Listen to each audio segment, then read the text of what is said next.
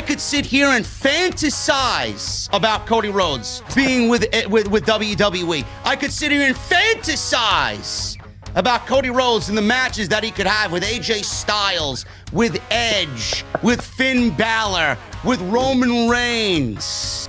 Oh, yeah. I could fantasize all that.